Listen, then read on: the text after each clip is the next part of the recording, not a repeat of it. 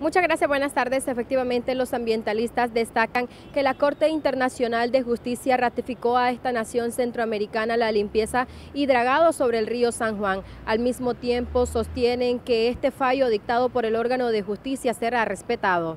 Creo que es bastante contradictoria la, resolución, en tanto que reconoce que Costa Rica eh, violó eh, algunos tratados internacionales, que Costa Rica no hizo administrativamente lo que correspondía y un estudio de impacto ambiental.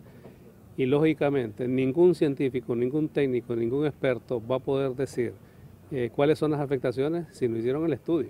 Entonces realmente aquí hay una, una contradicción porque está más que manifiesto el daño.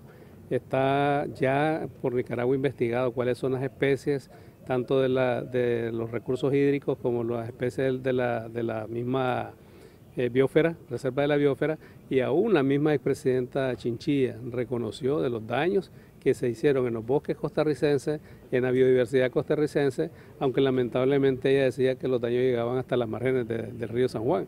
Evidentemente la naturaleza no tiene fronteras. Cabe destacar que en el 2010 esta nación centroamericana inició el proceso de dragado en el río San Juan para facilitar la navegación según información oficial. Con este dato regreso a Estudios Centrales de C24 Noticias.